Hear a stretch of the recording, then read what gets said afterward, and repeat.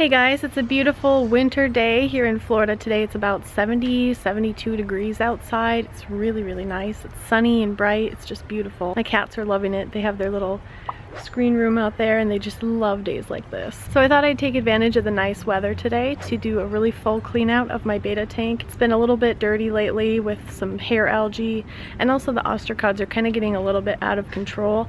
I don't mind them so much but yeah they really tend to take over. So we're going to do a full clean out of the betta aquarium today. This is my 5 gallon Fluval Spec. It was pretty much covered in green spot algae. It's pretty hard to clean up on top of the shelf behind my desk. It's up so high also the open is pretty narrow and my driftwood gets in the way of me really scrubbing the glass. I also noticed that the sand was getting kind of compacted and icky, so I just decided it was time for a good deep clean. I brought it out here, sprayed it with the garden hose, and scrubbed it down really well. It's now totally clean, like new, and I'm ready to set it back up again. You guys have been asking me how I keep my driftwood to stay down, and actually now that it's a bit waterlogged because it's been in the aquarium for so long, I'm hoping it'll stay down on its own, but I don't know. I'm going to test that theory out here pretty soon. This is how I've done it thus far. This is egg crate or light diffuser.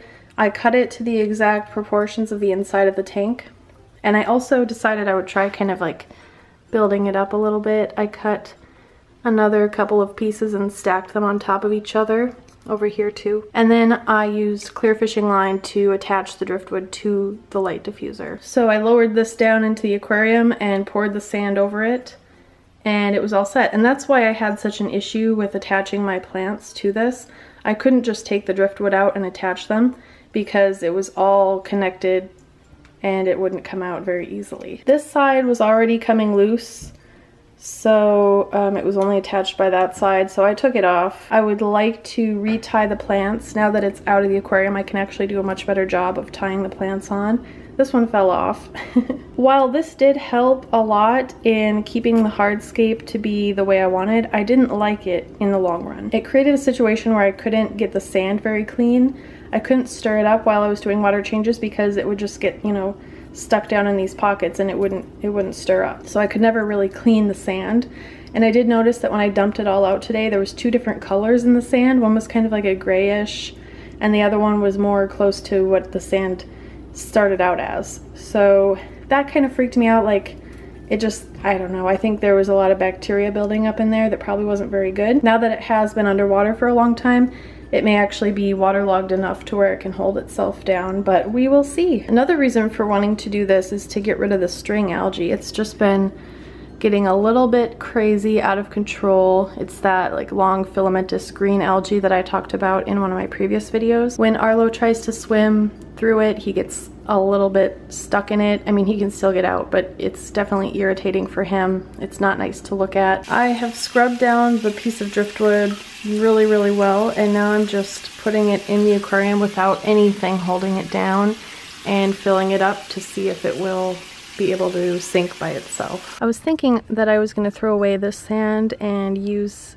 some brand new sand, but actually it's cleaning up pretty well. I've rinsed it out about six times now and it's starting to rinse pretty clear. So I think I'm gonna rinse it out a few more times and just reuse this sand. Still have to clean off the plants. The plants are probably where the majority of the string algae is hiding. So I want to really clean these off.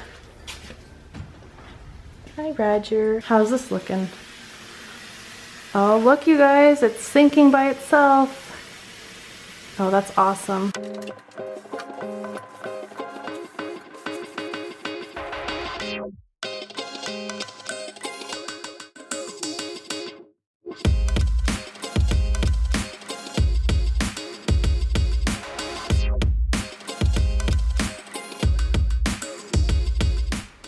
Right, so I have filled it up about three quarters of the way. I'm gonna carry this to where it belongs and then fill it up the rest of the way with a bucket. This is what the filter setup is like for this Fluval tank.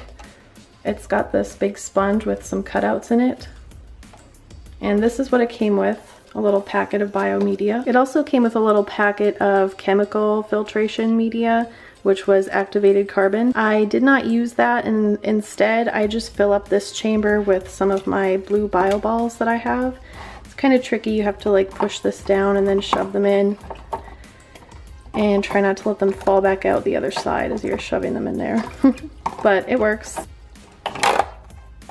I also have this cover that I made to go over the filter intake. My betta tends to like to lay up against the filter intake, which is not very good for him because his fins could get sucked in there. So I just cut this piece of plastic canvas from the craft store to fit the size that I needed. I folded it over and I used fishing line to tie it in place. It's a little bit loose, but it sets down there just fine and it covers the whole thing.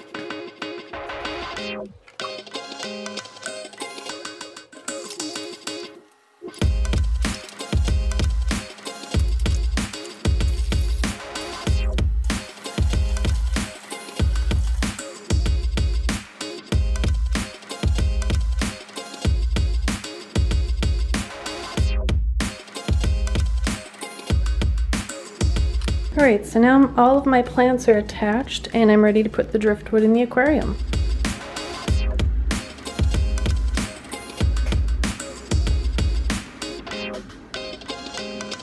Time to set him free. You ready for this, Arlo?